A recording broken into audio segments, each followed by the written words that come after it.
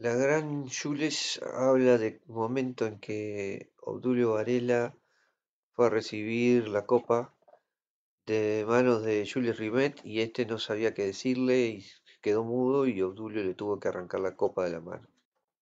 En la imagen se ve a Obdulio de frente y a Jules Rimet de espalda y detrás los periodistas que están esperando y transmitiendo desde la cancha el, el momento histórico. Obdulio Varela. Vamos ver se conseguimos apanhar as palavras de Messias Júlio René.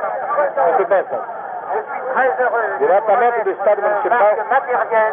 de la victoire que vous venez de remporter, d'autant plus méritoire que je puis bien vous dire qu'elle était inattendue avec mes félicitations. As palavras de Messias Júlio René.